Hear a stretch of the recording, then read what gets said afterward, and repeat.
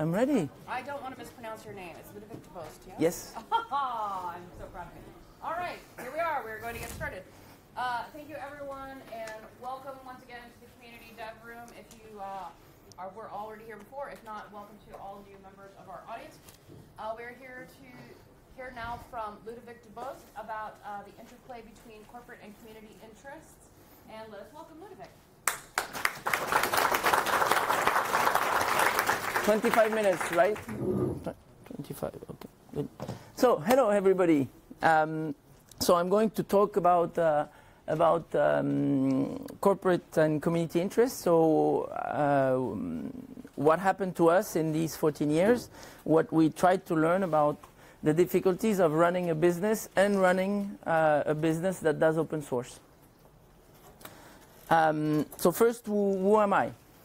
Uh, so uh, I created, uh, and I've been working for XWiki now for 14 years. So the company was created in 2004. The open source software was actually created six months before. So, but it was kind of the same thing, the same project. Um, before that, uh, I had worked uh, in, uh, in an internet company doing statistical analysis of internet usage, and before that at Netscape.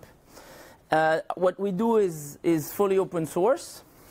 Um, the company itself is bootstrapped. Uh, we haven't uh, raised any money, only the money of the employees, actually. Uh, and uh, today, uh, we're a company that does about 2 million euros revenue. And uh, one thing that is important is that we, we want to be good open source citizens. So we, it, it was in the project to be open source right from the beginning, and, and we have maintained that. Um, so what do we actually do? Uh, we do a, a, wiki software for enterprise, for the enterprise. Uh, we have quite some innovative features in it. Wikis are still innovative for companies, so not for, for all companies. It's not necessarily something that is completely mainstream. It's still an innovation for many companies. For some, it's not at all, but for, for many companies, it still is. And our wiki itself has innovative features and innovative approaches. Um, it's, uh, it's bootstrap based and responsive. We have done a lot of work on usability. It's available on the cloud. I'm not going to talk too much about that. It's a recognized software today. Amazon is using it, and many, many companies are using it. And as a company, we also have done a, a second product uh, out of our research projects, which is called CryptPad, uh, which is a secure real-time editor. So uh, particularity is that it, it encrypts all the content on the servers. So it's actually a radical new technology where, where you can do collaboration, but the server doesn't know anything about what is going on. I, you can go check it out at cryptpad.fr. So um, what, uh, what have we learned in these 14 years of uh, being a company that does open source? So first, we have learned that open source is helping us. So that's, it, it's important to, to acknowledge and understand how open source is helping us as a company. Um, there are issues of innovation. There is issue, issues of funding. I'll come back to that. And of course, there is a paradox. One of the first things people tell me when I tell them, oh, we're doing open source software, which basically means that the software is, is not, you don't pay for the software, and so how do you make money? Like, first question, how, how do you actually do that? And so it's, it's how do you sell something that is free? Um, and, um, and then there is a difficulty and a problem to look how do you actually make money, how do you grow, and how do you stay open source. You know, it's interesting. You can see that open source can be a good way to get yourself known. Once, you're, once you start to be known, how do you actually stay open source? Um, so first, open source helps us. So I want to point out uh, a few ways how open source is helping us. Um, first, it has allowed us to not take outside money. So that's actually interesting because I'll come back on that point. Why, why, what does it mean from, what's the issue potentially between open source and outside money? Um, so it allowed us to, take no, to not take outside money because it allowed us to progressively build the software. So we started with service, so we launched the product, not much marketing, people look at it, oh, it's interesting, could you do that for us? and potentially do a little bit of business. So you, and this is actually difficult when you do a proprietary software. You do a proprietary software, you put a price on it right away, you're creating a, a, a, a kind of a blockage for the client. If it's not good enough, he's not going to pay for it. So the first thing is that it allowed us to progressively grow uh, and not take outside money. Um, the open source is providing our user base, so we have it, pro it provides credibility. So we have many users. So when we go see companies, we say, look, we have that many users that use it. Provides credibility. It makes us known, and that's actually really important. It actually brings an answer to a question also, which is that companies often ask is, what, what if your company goes down? So, well, if the company goes down, there's still the open source software there's people that can take over. Uh, you, we're not the only ones. And that's actually a question that happens for many small companies that are created. The first question that uh, companies will ask is, what if your company goes down? Um, it, also, it helps you enter large companies uh, with less marketing. So basically, companies try the software themselves and then they will, uh, and then they, they, so basically you could say that a part of the pre-sales is done by the companies themselves. So they, they, they do all the validation, they, and then they come when it's, when, okay, we validated that it's the right software, so it, it looks good. Could you provide some services to us now? Um, it also helped us for finance research projects. So as a company, we didn't take outside funding, but we took research projects.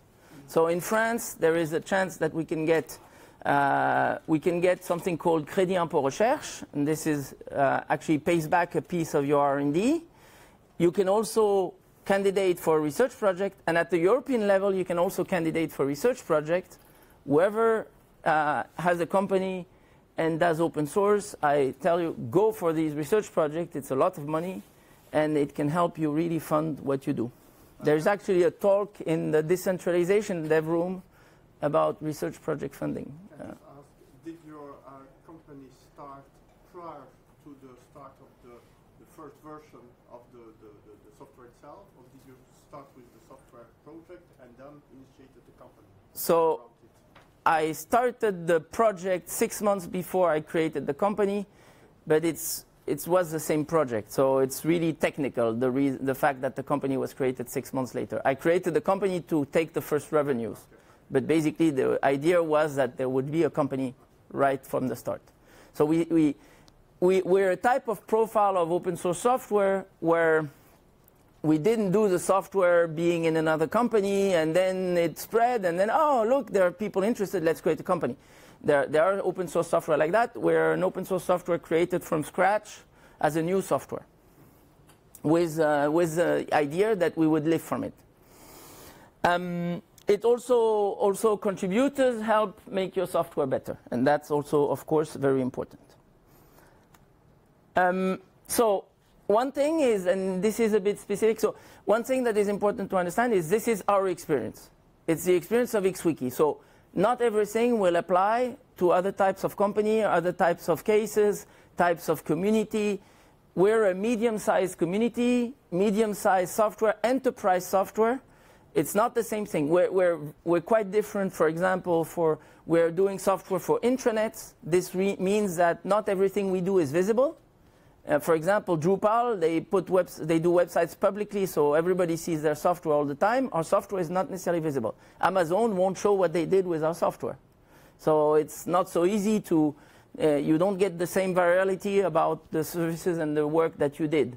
So, and we're a medium-sized company, uh, 40 people, so it applies to us. So it doesn't necessarily apply to anybody. Uh, it's important to understand that. So in our case, one of the aspects that was also important is that combining innovation and open source is not so simple. So usually uh, what happens a lot is that um, open source software are launched to redo something that already exists. So you take a, uh, something that people already want, you say, okay, I'm going to do, to do it as open source. It's not exact, we're not exactly in that situation. There are, there are lots of wikis, there are, there are proprietary wikis also, but it's, it, it's also an innovation. So we have, to, uh, we have to handle that. And so usually innovations it require a lot of funding. So a lot of years where you're educating the market. And this is usually requires funding. And so uh, causes the problem of okay, what about funding? How do you get that funding? So one of the things is that why why not get VC funding? So from my point of view, and this is my point of view. Um, so VC funding is great because you can get with the money you can do a lot of code, you can do a lot of marketing. It's great, but it changes completely. It, it potentially changes the objective and the goal of the company. Being a, pr a private owner and being owned by the employees makes that we decide what the company's goal is. Once you take v v VC funding, there is only one goal make money. In short term. Yeah, only one goal. Capitali capitalism is about remunerating investors. So then the question comes in on every decision that you take as a, as a CEO am I taking the decision that makes the most money for the company? Even if, even if the other decisions are making money, is it the one that makes the most money? And so the problem causes is open source at some point allowing you to make the most money? And you ask this question, and sometimes the answer will be maybe not. And then you are, let's close and let's do less open source. So for me, there is, a, there is an issue between the VC funding and open source, and it's not so easy to combine these two aspects. We, at some point, decided no VC funding. So as a company, we're in a different types of problem. Our problem is not that we don't have money and that we, uh, uh, that we have to see how we handle this problem of uh, how you make money and uh, how you, how you uh, remunerate your investors and still be open source. Our problem is how do we still be open source and survive? And it's a different problem, but there's still this problem that comes, how do you make money and be open source? So my, my take is that with funding, you, with VC funding, there is a risk that open source becomes secondary and that progressively the, the software becomes less and less open. However, have to recognize that big companies or companies funded by VC are creating huge amount of open source code and that it's great for the community. The code is there. Once it's there, cannot be taken back. Uh, it's just that there is a few risks about how it will evolve later and exactly how it works. Um, so there is a paradox of open source when running a company. So the paradox is company needs to pay salaries. So 40 employees, uh, they're employees like in any other companies. And they are, okay, how, how is my pay evolving? Uh, this other company pay, would pay me more. Uh, what do we do about it? What's the market price? Uh, we have these discussions with our employees. And so it's not something that is simple. And uh, well, we need to, to be an employer that pays the salaries and that is competitive also on the market. We cannot sell directly what we give. So if it's given, it's hard to, to sell it. So we have to sell something different than what we give. So we cannot make money directly from the software provided for free. So I don't say that we cannot sell what is open source. I said we cannot sell what we gave. Uh, it will be important a bit later in what I present. Um, so, as I said, the company's interest could be that maximizing profit could mean not doing as much open source. And uh, the community interest would be that we give as much to the community as possible. So we give more to the community. So I believe that in the end, the community and the company's interests are that it works. So there is some middle ground that needs to be found. If, we, if the company cannot make money, we won't be able to invest uh, anymore in the software. If, the community, if, we, if we don't give to the community, the community won't help us being known. So there is a common interest that uh, both we're able to make money out of what we do, and the community gets as much as possible uh, from, from that software.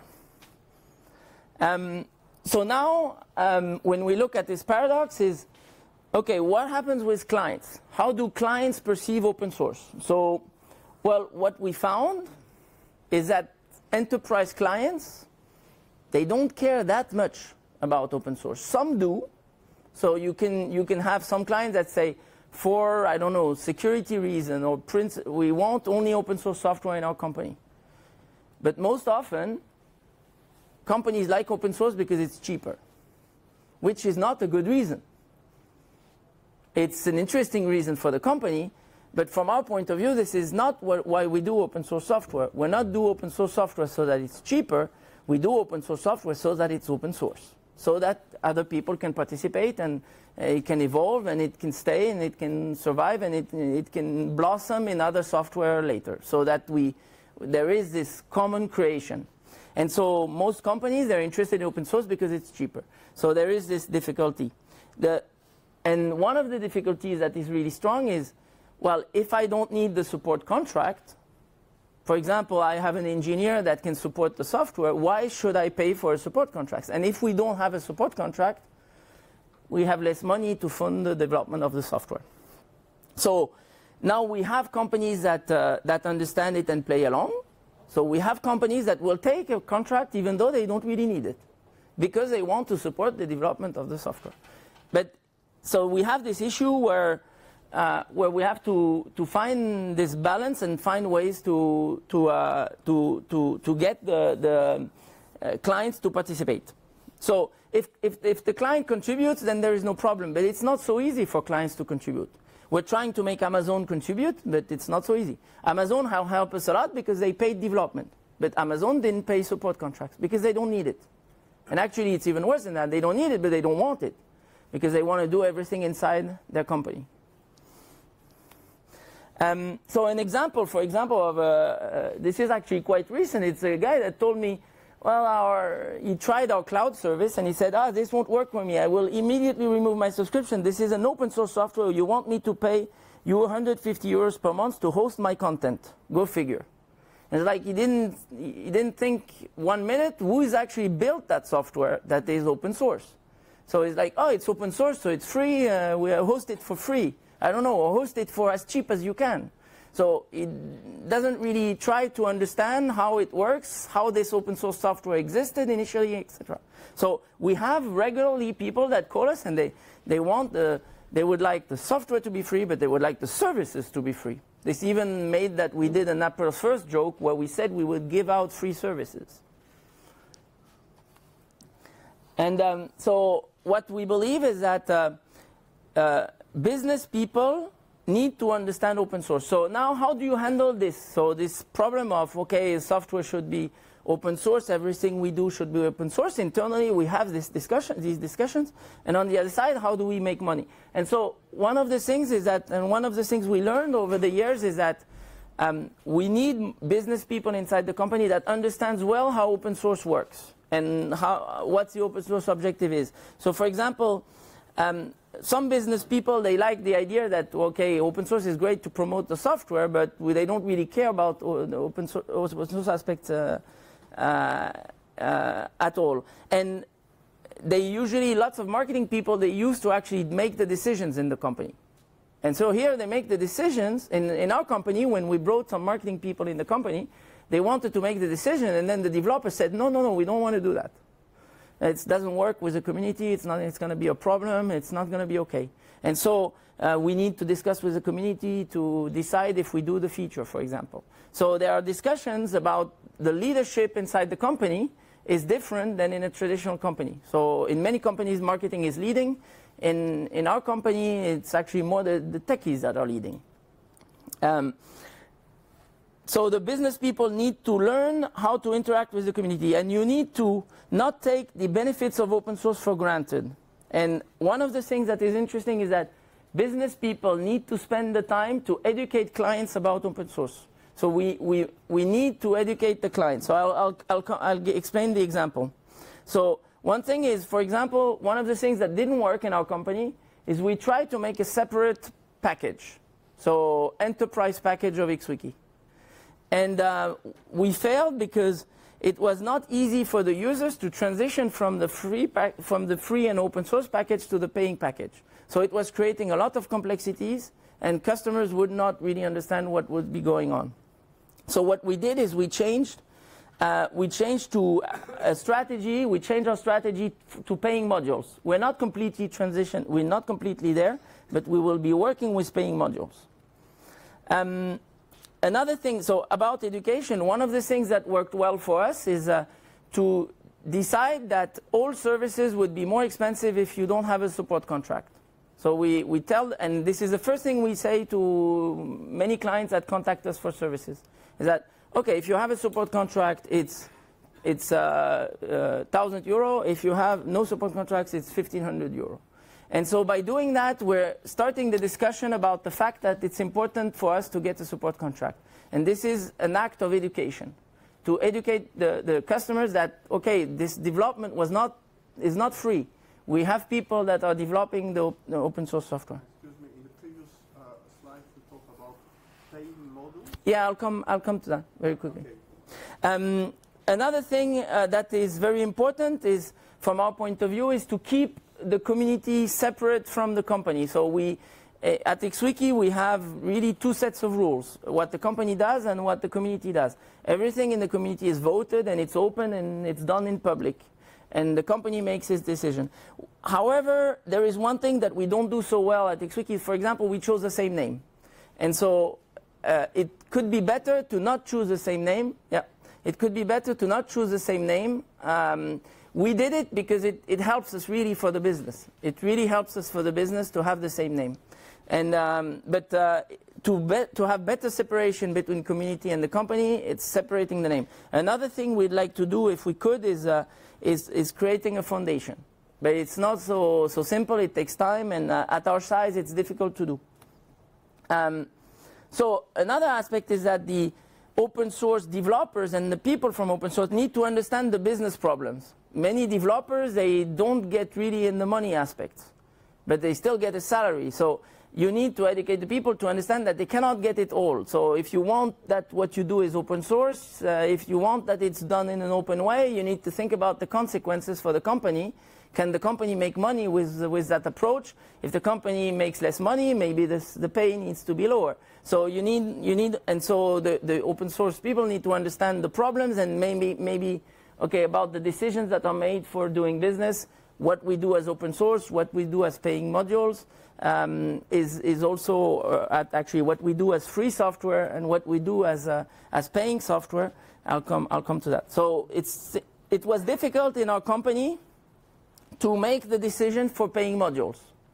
So when we started saying we're going to make paying modules, it was difficult for some of the employees that are very uh, open source to say, ah, uh, how does it work? And even when I said, look, they're still going to be open source, these paying modules.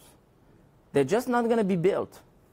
So we're not going to build them and give them for free to people. You, if you want them as open source, go to GitHub, build it yourself, install it yourself. But if you want it through our App Store, pay for it. So it's actually an interesting approach. The software is open source, but you don't get it for easy. You don't get it so easily. So we still keep the open source approach, but we have paying modules. It's also, from our point of view, an act of dedication. But the first reaction of the developers say, yeah, but somebody will build them. They say, no, no, nobody will build them. because they will understand why it's important that we can sell software. And so, and if, if, if, if the software is so popular that there's so many people that want to come and build the stuff, then we will have more contributors. That means it will work better. Um, so paying modules, we, we decided to launch paying modules. And this is uh, actually a big move for us, and it, uh, it's, it's something that is, uh, that is uh, complicated. But if you look at many of the, uh, of the open source companies, many, they have either an enterprise package, or, uh, or, paying, uh, or paying modules. We think that the paying module approach is good because it really keeps the, the, the, the main open source software completely open and free. And the paying modules are separate, they come on top. And they also allow to move from one to the other. So they allow for an open source user to start with the software and then use, use paying modules. Um, so one thing, uh, I am finished with that is that um, so the, one of the issues with with um, with all this thing about companies and and uh, and communities is that well some there's many companies doing open source there's many software that are open source. How do you actually recognize whether it's some it's a good it's a good approach that is community oriented that is ethical? How do you recognize an approach that might end up in in any way, we're going to move away from open source and, and, and take the money and run. So for me, uh, there, there's a few things that people need to look at is, is the community open? That's really important. So is there an open community? Is it run in a way that it's inclusive for participants? How much, how much code do they actually produce? And how is the evolution of that quantity of code? So how much commitment to open source there is? And then, is it, is it about only about the development side? Is the open source aspect about the development side? Yeah. And or is, is it also about the whole business? So do you hear only the developers talk about open source, or do you hear the whole company talk about open source? And then try to analyze how, how is the long-term commitment about open source of the company. Thank you.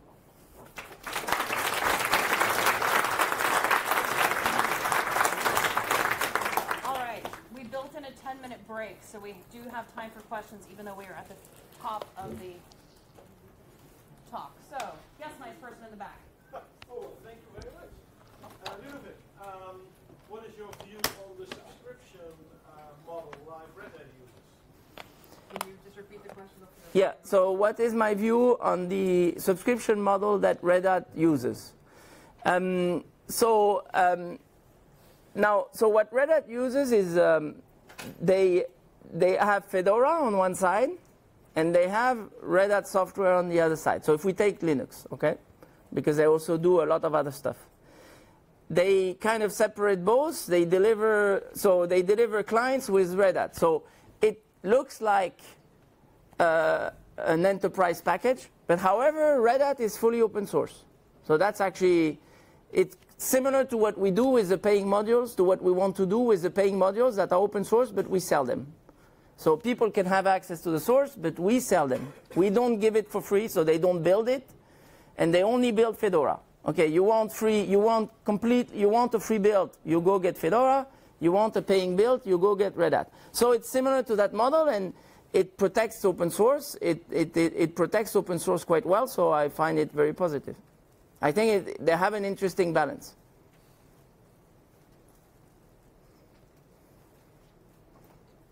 Um, about the support contracts, um, kind of curious what that really means because I've often read that people say for open source it, um, it's a better way to try and get companies to, in, let's say, spend money on an open source project knowing that it helps it instead of, for example, asking for donations. So um, I'm just not sure exactly what that really means, and I really I see what you've said through the talk that uh, you get reduced uh, cost for custom features, for example, if you have a, I guess, long-run Yep. support contract. Is that anything else? That, do you get a certain amount of support hours per month or something? No, so support is in our case it's a it's a fixed price which uh, depends on the type of installation, number of users, and things like that. And it's a fixed price. You can technically call as much as you want. We're going to give you guarantee. It's more like an insurance in reality. Like uh, you have a serious problem, we're going to fix it. We lose your data, we're going to help you recover it. You have a problem with a feature, we're going to fix the feature. So we don't want to do uh, our by the hour support uh, because we believe that this doesn't help fund, fund the software. So we prefer the, the approach of a fixed price, uh, fixed price support contract that you will pay every year, uh, and, uh, and then you can call our support. If I can follow, have a follow-up question. I'm just curious, how do you prevent people from abusing, the, like just calling you constantly all the time? So they don't, so it's okay. Just. No, actually, it's support is the greatest business you can get in. Uh, it's just a question of price in the end, because maybe I mean, that might not be true if you do a hundred euro support contract. Yeah, we do we don't do a hundred euro support contract. We do 5,000, 10,000, 20,000, 50,000. So it's uh, it's really a question of the amount of money. So. Uh, but for example, on, on our cloud service, we have cloud at 100 euro, and we have clients that abuse. Now we try to look at it on average. In the end, what counts is on average. And on cloud, on average, it's fine. So even though the prices are much lower than what we have for big enterprises, it's, it's good. Uh, I have a, a lightning talk about uh, tips and tricks to finance open source project. I talk a bit about support at When is that? six, Tonight. yeah, 620, I think. You can also fire your customers. Yeah, that's an approach. Um, okay, I'm sorry, we need to, to do room migration now, but uh, Ludovic, will you take more questions in the hallway? Sure. Excellent. Can we have the microphone back? 'Cause Yes, yes, really yes, yes. at having people talk all the time. We're gonna ask them. Thank you, folks. If you are going to depart,